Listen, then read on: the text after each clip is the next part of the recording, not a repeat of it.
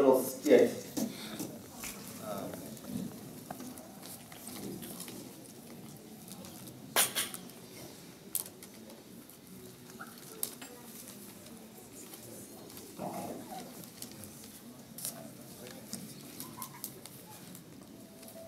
Should we wait? Should we wait? Should we wait till they come back? Yeah, I'll just wait. Um,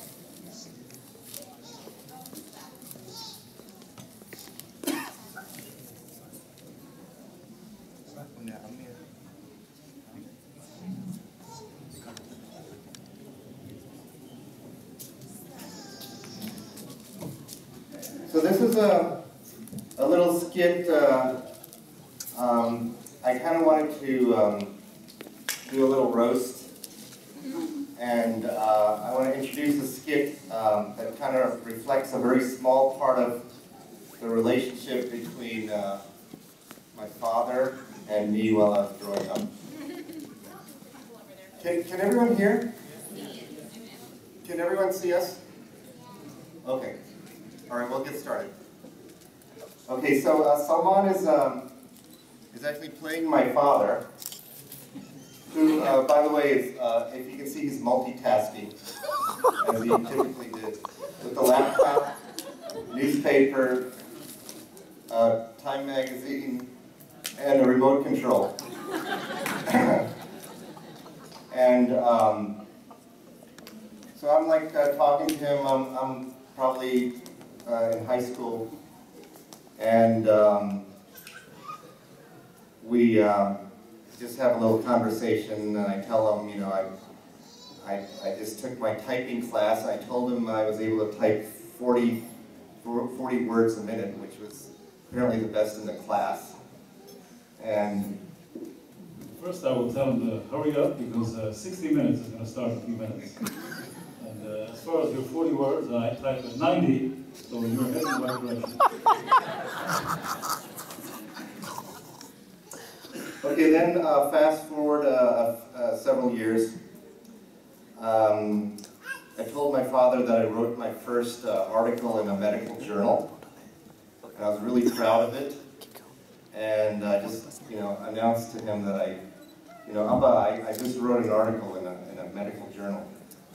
Very good. Uh, I have written uh, 100 articles in the, uh, one of them in the New England Journal of Medicine. So again, you're headed in the right direction. Um, so fast forward a few years, um, I told him, you know, I actually was featured on, I had a TV appearance. Um, I'm really excited. Uh, what do you think of that? Wonderful. I have been on 10 television shows, and uh, my name is a household name. So, um, so Abba, a few, few, few years later, Abba, I was, I was in, uh, listed in Who's Who in America. Wonderful. I'm uh, the who's who in the world. Uh, Abba, I, I, I wrote my first book. Uh, what do you think of that? Marvelous. I wrote three books, and I have four on the way. Um, you know, Abba, I, I helped uh, this one uh, patient today. I'm really uh, wanted to tell you the story. It's really impressive. Very good. Uh, I have helped 100 people before breakfast today. So this is just, uh, these are actually based on true stories. And um, uh, can everyone hear me? You turned it off. Yeah, there you go. Hello? Hello? Okay. So um, I just want to say that um, everything I've achieved is actually due to a lot of encouragement from my father. and that's the way I got encouraged. And uh, uh, sort of on a serious note, Ibrahim Abdul says uh, that uh, you should aspire beyond one's uh, abilities. And I've always uh, appreciated that. Thanks a lot.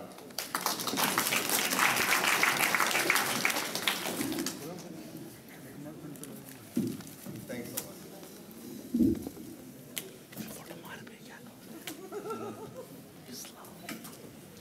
Okay, um, I want to uh, introduce uh, Dr. Uh, Hassan? Oh, oh, oh, is that She's a longtime friend of the family and uh, a, a, actually a pretty eminent scholar also. And uh, really uh, appreciate her coming and coming to this event.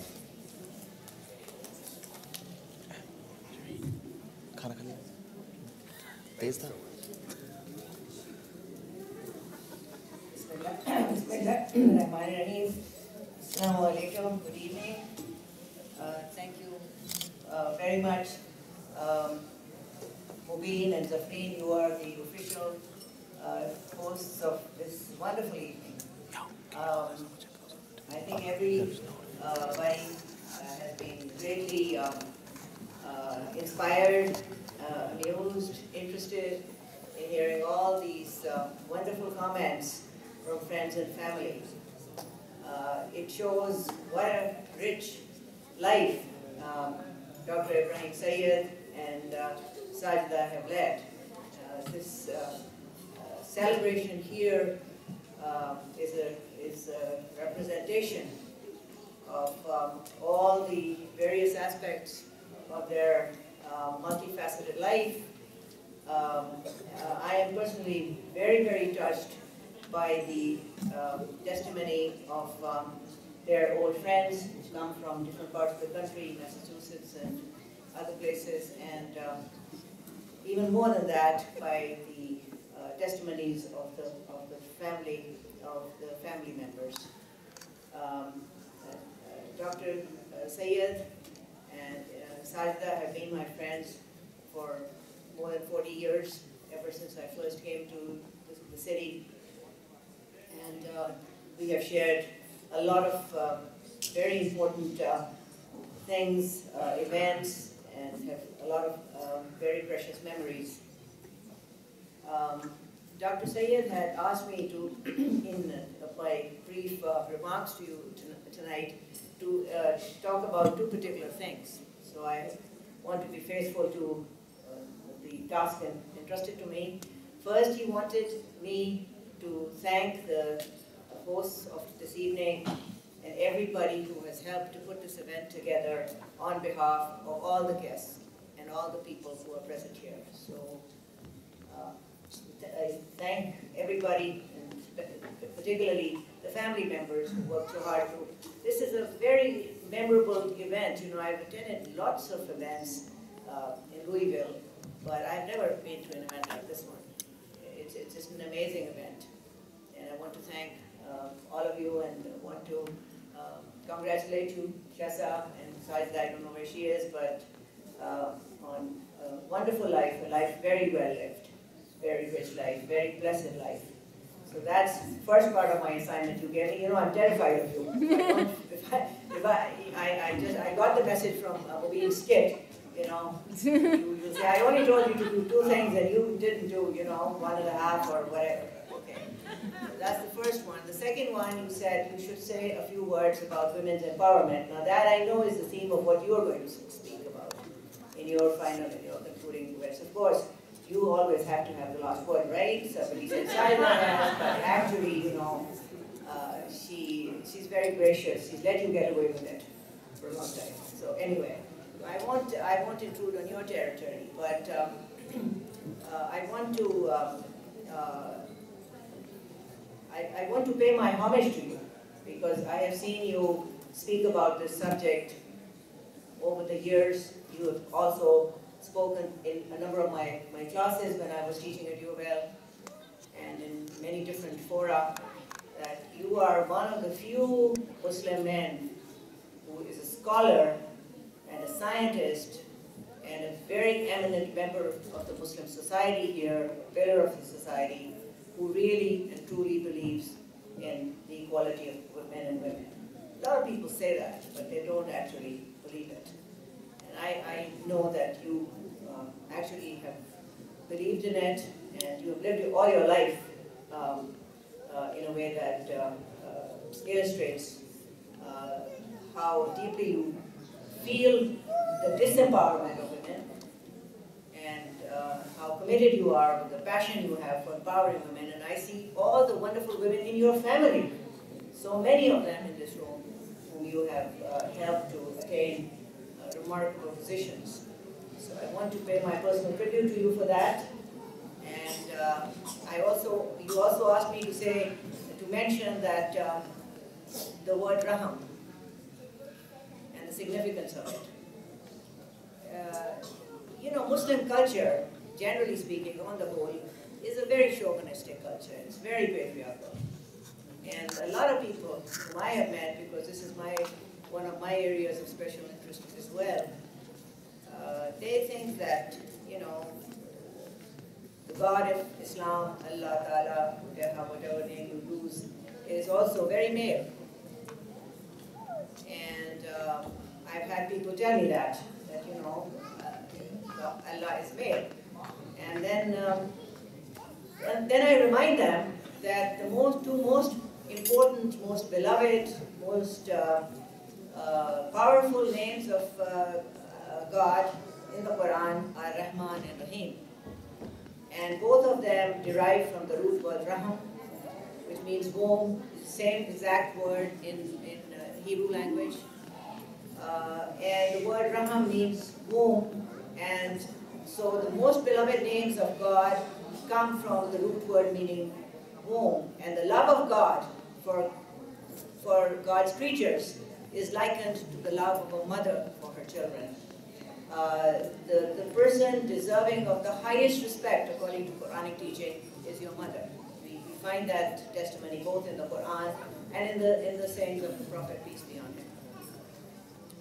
Um, I want to mention that, um, you know, one of the, the greatest testaments to how a person has lived his or her life, how successful, how happy, how fulfilled they have been, is how they raise their children. And uh, I, I think that uh, uh,